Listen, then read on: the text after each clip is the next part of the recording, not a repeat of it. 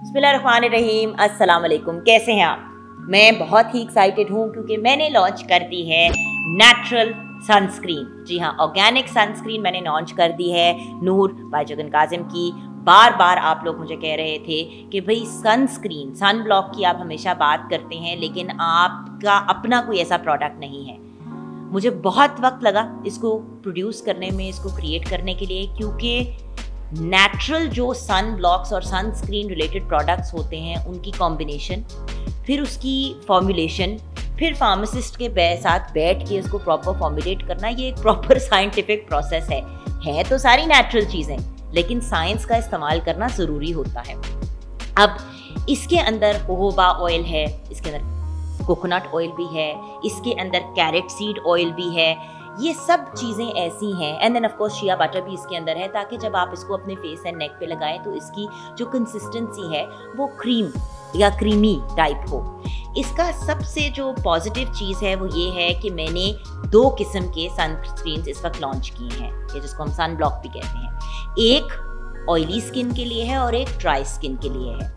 अगर आपकी normal skin है, लेकिन ज़्यादा ड्राई हो जाती है तो आप ड्राई स्किन वाला यूज़ करें। अगर आपकी नॉर्मल स्किन है बट इवन ऑयली की तरफ़ थोड़ी बहुत जाती है तो फिर हमारी ऑयली स्किन के लिए। क्योंकि इसमें फ़र्क सिर्फ़ ये आ जाता है कि इसके अंदर हमने मॉइस्चर का लेवल उस हिसाब से मैनेज किया है, जैसे आपकी स्किन टाइप है। मेरे साथ अक्सर ऐसे होता था मैं जाके लेके आती थी सनस्क्रीन और अगर मैं गलत उठा लाती थी आ, मार्केट में तो खैर आजकल एक एक ही किस्म का अवेलेबल होता है ज़्यादातर कि भाई हर स्किन टाइप के लिए। ऑयली स्किन वाले बंदे के ऊपर अगर आप एक्स्ट्रा ऑयल बेस्ड चीज़ लगा देंगे जिसमें ज़्यादा ऑयल है तो वो सनस्क्रीन मुँह पे ही बैठी रहेगी और वो चिप चिप वाली फीलिंग जो है वो किसी को भी पसंद नहीं आती। ड्राई स्किन को ज़रा एक्स्ट्रा मॉइस्चर की ज़रूरत होती है। एंड नॉर्मल स्किन में अगर थोड़ा एक्स्ट्रा मॉइस्चर चला जाए तो उसका कोई नेगेटिव साइड इफ़ेक्ट नहीं है। सो so, हमारा जो नॉर्मल टू ड्राई स्किन का सनस्क्रीन है वो नॉर्मल एंड ड्राई स्किन वाले यूज़ कर सकते हैं। एंड जो ऑयली वाला है स्किन uh, के लिए उसमें ज़रा हमने थोड़ा सा मॉइस्चर लेवल कम रखा है ताकि आपकी स्किन के साथ वो बैलेंस में इस्तेमाल हो। सनस्क्रीन हर इंसान ने इस्तेमाल करना है, चाहे आपकी एक्नी प्रोन स्किन है, चाहे आपको ड्राई स्किन है, आपके कॉम्बिनेशन स्किन है सनस्क्रीन बहुत ज़रूरी चीज़ है। इसलिए ज़रूरी है क्योंकि ये हमें स्किन कैंसर से प्रिवेंट करता है। ये जो हमारे चेहरे पे छाइयाँ पड़ जाती हैं, मलजमा हो जाता है एजिंग होती है। ये सब चीज़ें। मैं जब नूर के साथ प्रेग्नेंट थी, मेरी सबसे ज़्यादा जो बेवकूफ़ाना मैंने हरकत की क्योंकि मेरा कुछ भी लगाने को दिल नहीं चाहता था और केमिकल प्रोडक्ट्स तो बिल्कुल भी मैं लगाना नहीं चाहती थी क्योंकि मेरी बड़ी कॉम्प्लिकेटेड प्रेगनेंसी थी। तो मैंने सनस्क्रीन का इस्तेमाल नहीं किया। जब मैंने सनस्क्रीन का नहीं इस्तेमाल किया तो फिर मेरे चेहरे पे चीक्स पे छाइयाँ पड़। अब अपने ब्राइटनिंग नूर के ब्राइटनिंग सिरम को यूज़ करके ऑलमोस्ट मेरी यहाँ पे जो छाई है वो गायब हो गई है। अभी देखिए मैंने कोई मेकअप नहीं लगाया हुआ है सिर्फ़ मैंने लिपस्टिक लगाई हुई है हल्की सी।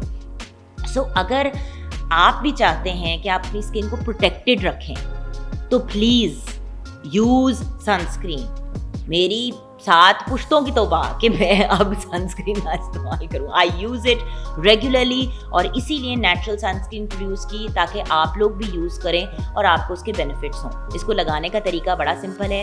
साफ़ सुथरे चेहरे के ऊपर, धुले हुए मुँह के ऊपर आपने पहले अपनी सनस्क्रीन लगाई और उसके बाद आपने ऊपर से अपना मॉइस्चराइज़र लगा लिया। अगर आप मेकअप लगाने लगी हैं, खातून हैं तो आपने सनस्क्रीन लगाई, उसको अब्जॉर्ब होने दिया थोड़ा सा स्किन के अंदर, ऊपर अपना प्राइमर लगा के फिर आपने अपना मेकअप कर लिया। मेकअप एंड जो आपकी सनस्क्रीन की कॉम्बिनेशन है, वो आपकी स्किन को बहुत अच्छी तरह प्रोटेक्टेड रखेगी। सनस्क्रीन जब आपने लगानी है तो आपने फेस एंड नेक पे तो लगानी है, लेकिन प्लीज़ जो जो एरियाज़ एक्सपोज हैं, जैसे कि आपके हाथ हैं और आपके पैर हैं तो उन एरियाज़ पे भी सनस्क्रीन आपने लगानी है। हमारी sunscreen is completely safe please try it I definitely recommended और ये आप लोगों के इसरार और इंसिस्टेंस पे मैंने क्रिएट की है. सो ट्राई नूर बाय जुगन काजम की सनस्क्रीन और अपनी फीडबैक ज़रूर शेयर कीजिएगा.